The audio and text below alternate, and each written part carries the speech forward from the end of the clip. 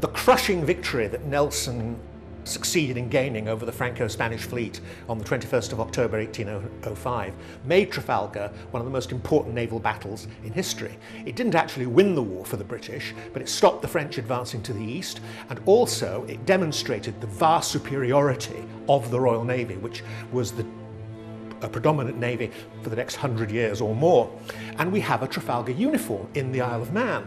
It's well known that Captain Quilliam was a veteran of Trafalgar. He fought it as a lieutenant, and here we have a lieutenant's uniform.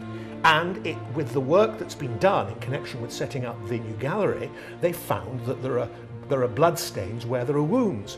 So the long tradition that this was Quilliam's uniform at the Battle of Trafalgar appears to be borne out.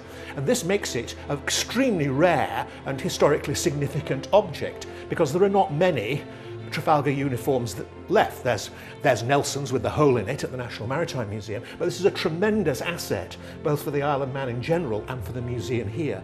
And the fact that work has been done to demonstrate its provenance makes this whole gallery even more important than it would have been otherwise.